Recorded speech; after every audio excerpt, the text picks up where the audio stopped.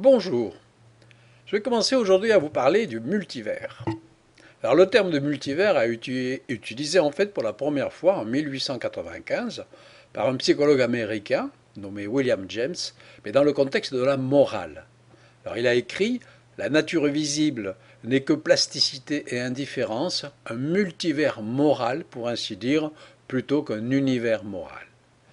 Alors aujourd'hui, le néologisme est entré dans le vocabulaire des physiciens théoriciens, mais dans une acception radicalement différente, comme on va le voir, se référant cette fois-ci à, l'existence d'univers, non pas au sens moral du terme, mais au sens physique et bien réel.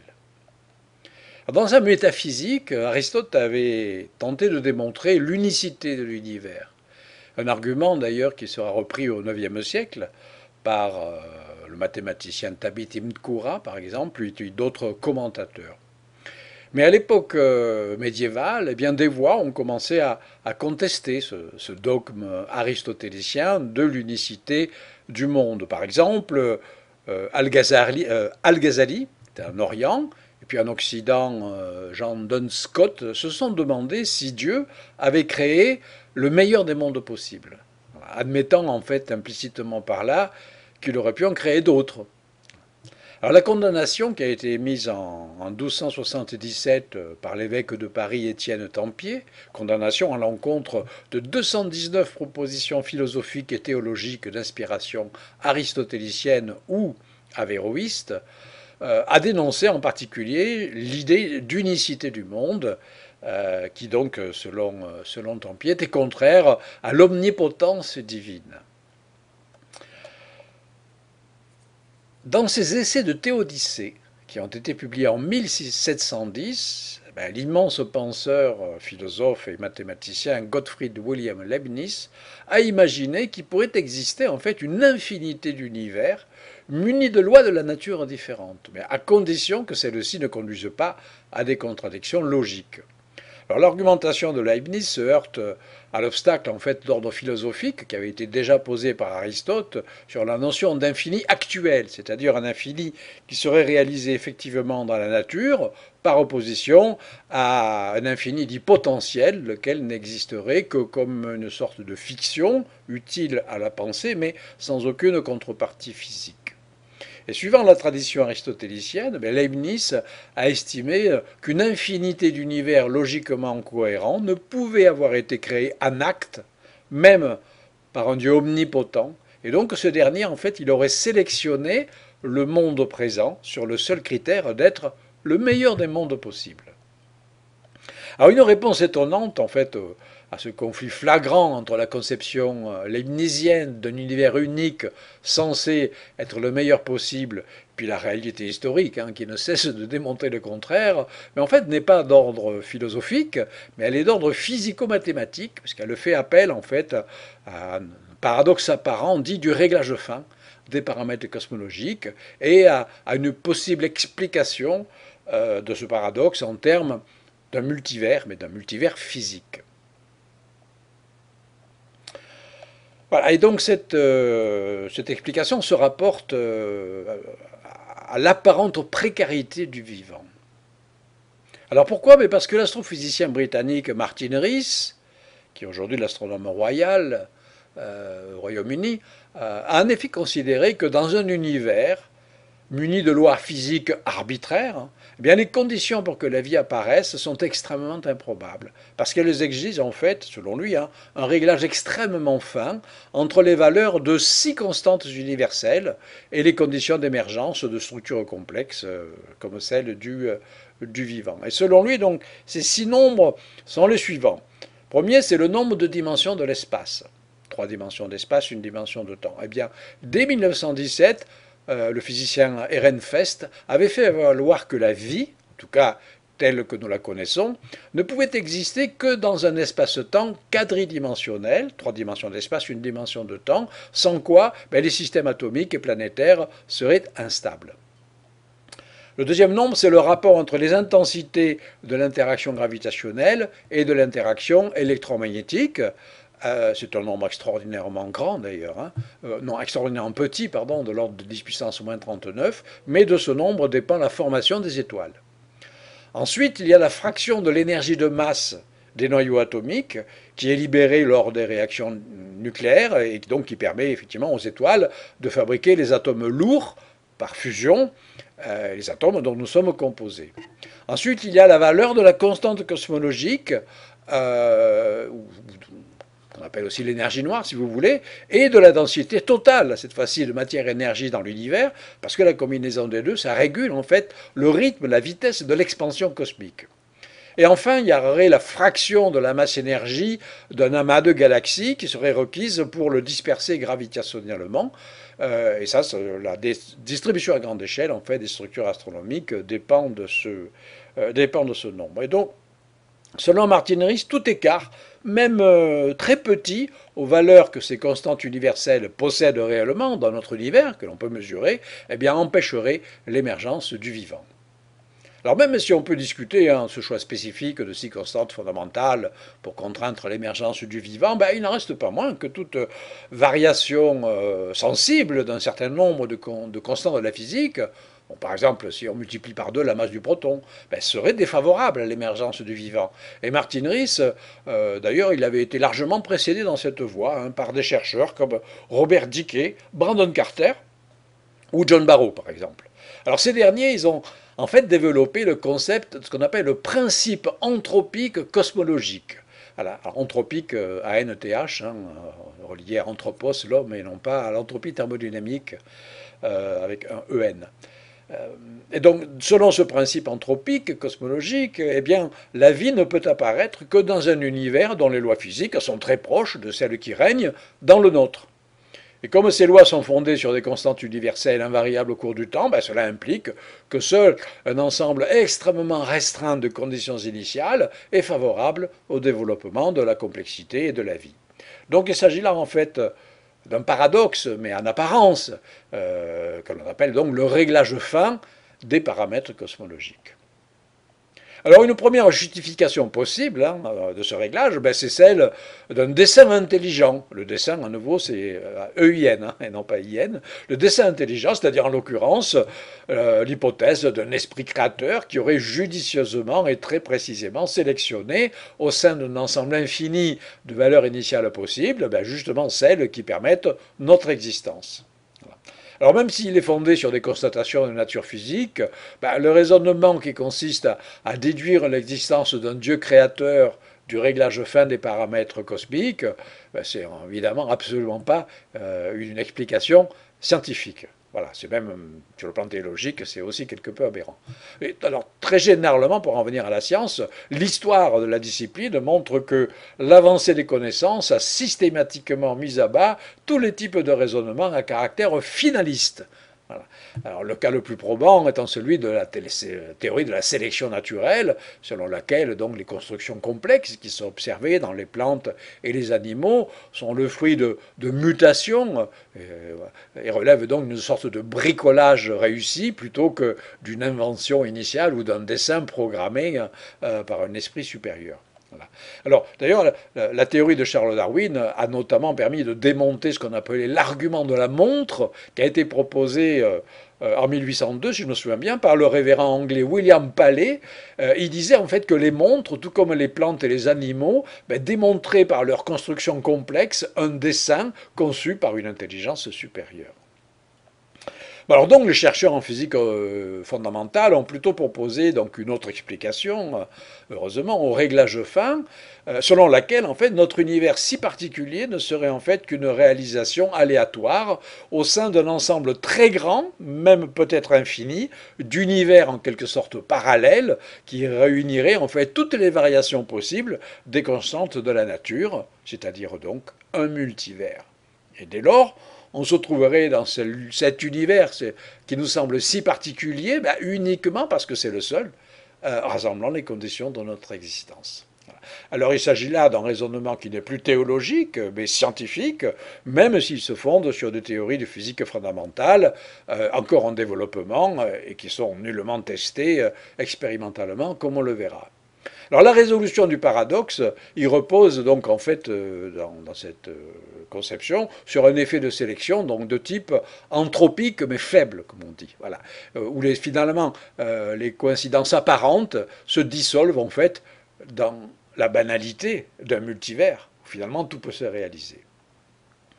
Alors fort de cet euh, apparent succès épistémologique, ben, le concept de multivers a gagné en popularité, comme en témoignent les nombreux ouvrages de vulgarisation qui ont été écrits par les collègues euh, réputés, euh, la plupart anglo-saxons et puis russes, qui l'ont promu, promu au point même, je trouve, de faire quelques ravages philosophiques dans certains cercles de pensée qui sont peu formé euh, à la discipline euh, de la physique euh, théorique, qui se veut normalement un peu plus rigoureuse que cela.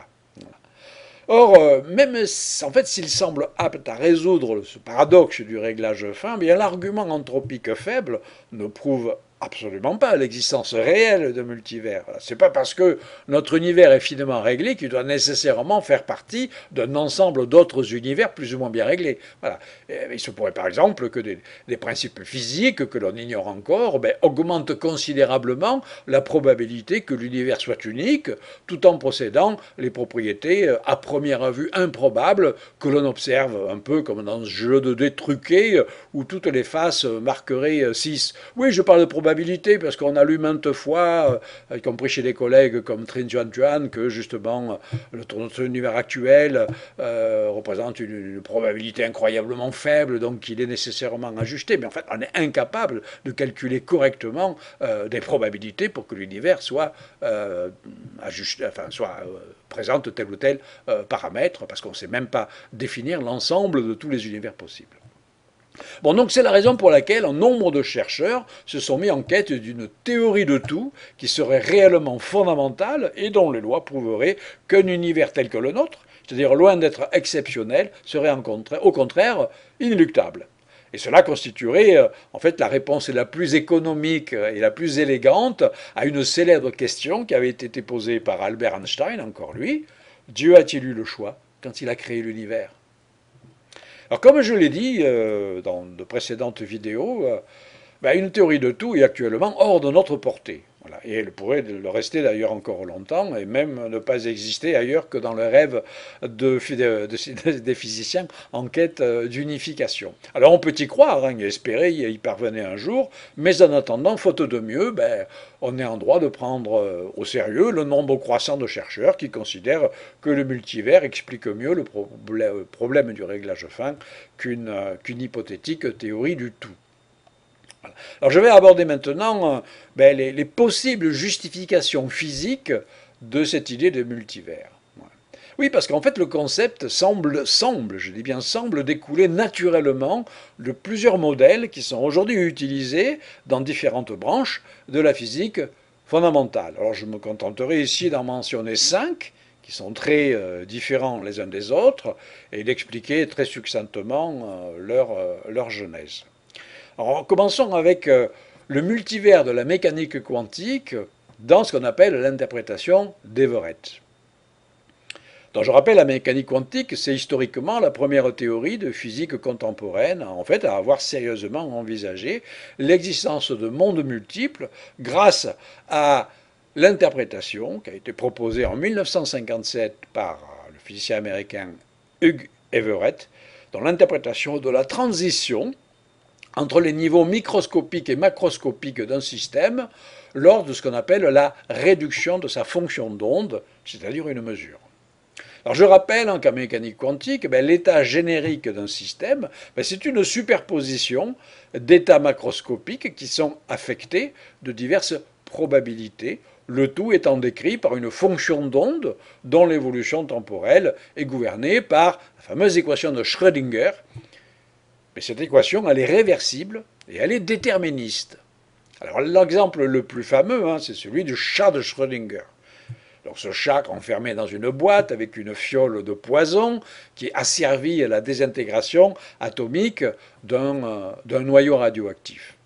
Alors avant, euh, toute mesure, ben, la fonction d'onde du chat signifie donc que l'état de l'animal, ben, c'est la superposition de deux états, un état mort et un état vivant, avec des probabilités identiques, 50-50. Après la mesure, bah, il semble aller de soi, évidemment, que l'état macroscopique du chat, ben, c'est soit d'être mort, soit d'être vivant. Autrement dit, ça veut dire que la mesure du système a détruit la superposition des états et elle a réduit la fonction d'onde à un unique état classique. Alors ça, c'est du moins l'interprétation habituelle de la mécanique quantique qui est fondée sur ce qu'on appelle l'école de Copenhague, mais qui ne va pas sans poser quelques difficultés épistémologiques dans la mesure en fait où le processus de mesure euh, introduit une irréversibilité qui viole en fait le déterminisme inhérent à l'équation de Schrödinger. Et donc euh, c'est cette propriété euh, que l'on appelle micro-réversibilité ou encore unitarité, et je l'ai déjà mentionné dans les précédentes vidéos à propos, par exemple, du paradoxe de l'information des trous noirs. Alors, dans l'interprétation d'Everett, au contraire, ben, la mesure ne réduit absolument pas la fonction d'onde à un seul état. En fait, tous les états possibles continuent à exister, mais dans des univers disjoints. Alors, dans l'exemple très simple du chat, eh ben, ce dernier, ben, il est bel et bien mort dans un univers, par exemple celui euh, où se trouve l'observateur qui a, fait la mesure, mais il est tout à fait vivant dans un autre univers. Ce qui fait qu'à chaque mesure se crée autant d'univers qu'il y avait d'états superposés dans la fonction d'onde avant la mesure. Dans le multivers quantique, ben, il n'y a qu'une seule fonction d'onde qui évalue, qui évolue pardon, de façon euh, micro-réversible, hein, de façon unitaire, sans bifurquer. En revanche, pour chaque observateur qui évolue dans un univers particulier, ben, la fonction d'onde bifurque irréversiblement à chaque mesure effectuée. Et donc le multivers quantique présente une structure en quelque sorte arborescente, avec un nombre de mondes constamment créés qui augmente au cours du temps, tout en restant fini. Alors, euh, pour aussi déroutante qu'elle semble, hein, cette interprétation d'Everett de la mécanique quantique, elle est en fait, en un certain sens, plus conservatrice que l'interprétation habituelle de Copenhague, euh, parce qu'en en fait, elle, le prend au pied de la lettre ben, les prédictions de la théorie quantique, euh, je répète, donc celles qui préservent notamment la propriété euh, d'unitarité et de micro-réversibilité.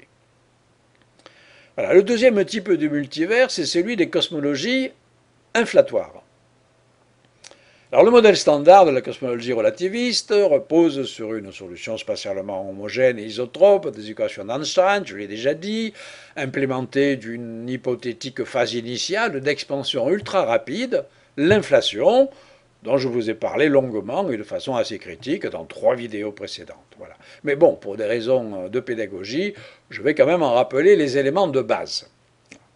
Alors, il n'existe pas de véritable théorie cohérente de l'inflation, mais on va dire plutôt un ensemble de scénarios qui donnent lieu à une vaste diversité de modèles et de paramètres ajustables qui permettent finalement de rendre compte d'à peu près n'importe quelle donnée cosmologique expérimentale.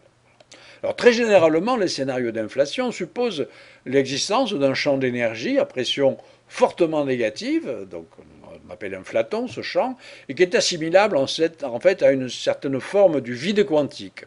Ce vide quantique, pendant un bref instant, situé très très tôt dans l'histoire de l'univers, il aurait fortement accéléré l'expansion du facteur d'échelle en lui imprimant un rythme exponentiel.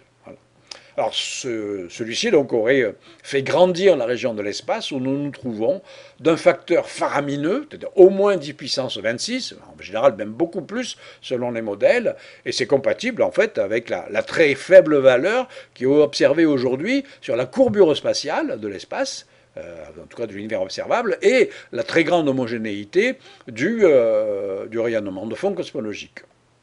Alors en outre, lors de la phase d'inflation, eh bien, les fluctuations quantiques du vide auraient été amplifiées et amenées à des échelles macroscopiques où euh, elles auraient perdu leur caractère quantique. Et ce sont ces inhomogénéités issues du vide euh, qui ont pu se condenser ensuite sous l'effet de la gravitation pour donner naissance aux structures actuellement observées. Voilà, tout ça c'est bien joli. Alors, je l'ai déjà dit, les modèles d'inflation se comptent par centaines. Et dans le scénario peut-être le plus intéressant, qui est le scénario de l'inflation chaotique, qui a été proposé donc en 1983 par André Linde, eh bien, le processus de dilatation n'a pas eu lieu de façon homogène dans l'espace. C'est-à-dire que de place en place, eh l'inflation a agrandi les fluctuations quantiques du vide en des bulles gigantesques notre univers observable donc ne représentant plus qu'une partie infime en fait de l'une de ces bulles seulement. Et quant aux autres bulles d'univers, ben, elles peuvent hériter de toutes les propriétés physiques possibles et imaginables en raison du caractère aléatoire évidemment et fluctuant euh, du vide quantique. C'est-à-dire on aurait des bulles en expansion-contraction, euh, d'autres bulles en expansion perpétuelle, certaines qui seraient remplies d'étoiles, d'autres complètement vides ou remplies de rayonnement, de trous noirs, etc. etc. Bon. Maintenant, dans la variante dite inflation éternelle, les fluctuations quantiques du champ d'inflaton donc, sont suffisamment grandes pour faire passer différentes régions de l'univers d'un état du vide à un autre état de vide, d'où l'idée finalement d'une inflation globalement éternelle, c'est-à-dire qui ne s'arrête jamais, au sein de laquelle ben, les régions qui subissent une fluctuation basse sortent du mécanisme d'expansion exponentielle et se stabilisent. Ce serait le cas par exemple de de notre région à nous, mais dans un nombre infini d'autres régions, ben, l'expansion exponentielle se poursuivrait indéfiniment en formant des bulles, mais très largement séparées les unes des autres, et chacune de ces bulles munie de lois de la physique différentes. Et le, multivers inflatoire, donc euh, ainsi produit, ben, il est infini, et il conduit à une structure fractale et arborescente d'univers, dans laquelle chacun de ces univers n'a qu'un seul ancêtre, qui est le vide primordial. Alors notons hein, que les hypothèses nécessaires au développement de l'inflation éternelle n'ont jamais été vérifiées rigoureusement, comme euh, je l'ai dit dans une vidéo précédente. Alors troisième type de multivers, celui de la théorie des cordes. Alors les différentes théories des cordes ainsi que la possible métathéorie censée les englober toutes, qu'on appelle la M-théorie, ben, requiert d'une part que l'espace-temps, qui est décrit classiquement à l'aide de trois dimensions spatiales et d'une dimension temporelle, ben, acquiert un certain nombre de dimensions spatiales supplémentaires, d'une part, et d'autre part, l'intégration de ce qu'on appelle la supersymétrie pour décrire les différentes particules élémentaires et leurs interactions. Alors une, réalisation effective en fait d'une théorie des cordes dans un espace-temps physique ben, exige au minimum l'existence d'états stables, disons métastables plutôt, du vide quantique. Jusqu'au début en fait des années 2000, aucun de ces états n'était connu ou calculable, jusqu'à ce que Raphaël Bousseau et Joseph Polchinski commencent à découvrir en fait l'étendue des solutions de la théorie des cordes. ils ont montré, en montrant en fait la diversité euh, des minima locaux correspondant donc à, des vides possibles pour des univers métastables. Euh, oui, pour qu'un univers soit stable ou métastable, il faut chercher des, euh, des minima locaux du potentiel. Alors des mécanismes de stabilisation du vide, ben, ils ont été proposés par plusieurs théoriciens. Ils ont trouvé qu'en fait tous les vides décrivant des univers en expansion exponentielle étaient métastables et finissaient par se stabiliser en des bulles d'univers aux propriétés de physique uniformes. Et le dénombrement de ces vides a été estimé à environ 10 puissance 500, au moins, et dans certains modèles bien davantage.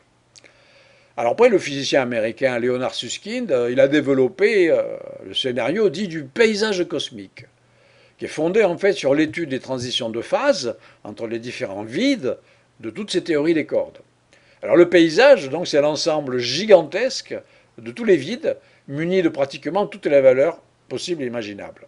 Alors dans certaines zones du paysage, assimilables par exemple à une sorte de plaine, euh, d'altitude zéro, par exemple, ben les vides sont supersymétriques, la constance cosmologique est strictement nulle.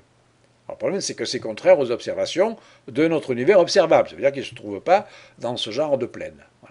Mais en fait, les vides sont marginalement stables, ils peuvent être excités.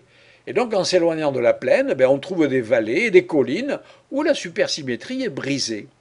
Et donc, les vallées sont aussi des minima. Les, les vallées sont des minima locaux, présentant leur propre énergie du vide, en nombre tellement grand qu'il s'en trouve forcément au moins un, pouvant correspondre à la valeur qui est aujourd'hui observée de la constante cosmologique. Alors selon Susskind hein, et, ses, euh, et, ses, suiveurs, bah, tous les minima locaux euh, du vide sont des univers physiques à part entière, d'où euh, un multivers extrêmement vaste, pas infini quand même, hein, qui est associé donc au paysage des théories des cordes. Allez, encore un quatrième type de multivers qui est celui de la gravité quantique à boucle. Je vous laisse souffler un instant. Gravité quantique à boucle. Alors, j'ai déjà dit, donc dans plusieurs vidéos précédentes, qu'en relativité générale classique, et sous des hypothèses extrêmement générales, eh bien, les lois qui gouvernent le destin de la matière à l'intérieur des trous noirs conduisent inéluctablement à la formation de singularités où la courbure devient infinie. Il en va de même avec les modèles de cosmologie relativiste qui conduisent à une singularité gravitationnelle lors du Big Bang. Cependant, avant qu'une singularité soit atteinte, ben, la dynamique correcte ne peut, pas être, décrite en fait que par une théorie quantique de la gravitation, ou alors par des modifications euh, de la relativité générale, des cosmologies à rebond, pas nécessairement quantiques, et ainsi de suite. Dès les années 1960, eh bien, les pionniers de ce qu'on appelle la cosmologie quantique, c'est-à-dire John Wheeler et Bryce DeWitt, ont émis la conjecture que des effets de gravitation quantique devraient renverser l'effondrement et engendrer une expansion. Donc ça veut dire que le temps ne s'achèverait pas à une singularité et qu'il existerait en fait une nouvelle région d'espace-temps en expansion dans le futur de ce qui aurait été normalement une singularité, qui aurait marqué la fin du, temps. Alors la gravité quantique à boucle a donné une certaine assise théorique euh, assez solide d'ailleurs à ce type de, à ce type de spéculation. Que l'effondrement gravitationnel est interrompu avant la singularité, en fait, en raison d'une interaction qui devient fortement répulsive, mais qui ne se manifeste en fait qu'à l'échelle de Planck, et qui fait rebondir la matière en effondrement. Et dans ce modèle, donc, on peut supposer que notre propre Big Bang, ben, c'est un rebond dans un univers hôte, et que dans chaque trou noir, il y a un nouveau Big Bang, c'est-à-dire un nouvel univers, une sorte de phénix qui renaît de ses cendres. Physicien américain euh, Lis Moline, très astucieux, est parti en fait d'une conviction évolutionniste à la Darwin, hein, euh, le conduisant en fait à, considérer des générations d'univers, et donc il a ajouté effectivement une hypothèse purement darwinienne, c'est que dans chaque nouveau Big Bang, eh bien, les valeurs des constantes fondamentales changent de façon aléatoire, mais très peu.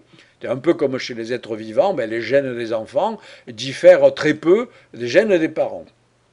Alors ces prémices, en fait, permettent de construire, selon lui, hein, une théorie évolutionniste du cosmos dans laquelle un univers comme le nôtre sera produit immanquablement un jour ou l'autre, parce que le cosmos va évoluer selon les lois de la sélection naturelle, basées sur le simple succès reproductif. Hein. donc un univers qui produit beaucoup de trous noirs, ben, c'est un univers qui se reproduit beaucoup. Euh, tous ses descendants auront des paramètres très proches qui conduiront donc à produire plus ou moins de trous noirs et donc à se reproduire plus ou moins. Donc finalement, la productivité en trous noirs est favorisée au cours des générations. Selon certaines estimations, qui recensent aussi bien les trous noirs stellaires que galactiques et primordiaux, ben, notre propre univers aurait au moins 10 puissance 18 trous noirs. Et donc il aurait engendré autant d'enfants. Et le multivers formé par des rebonds de trous noirs ben, s'apparente un arbre généalogique temporellement infini dans lequel chaque univers a un ancêtre, mais aussi une descendance. Voilà, alors je finirai ce recensement euh, des multivers avec euh, le plus bizarre de tout, ce qui est le multivers mathématique. C'est en partant du postulat que notre univers physique serait une structure mathématique, eh bien le, cosmologiste américain Max Tegmark a fait euh, l'hypothèse que toutes les structures mathématiques sont en fait des univers bien réels.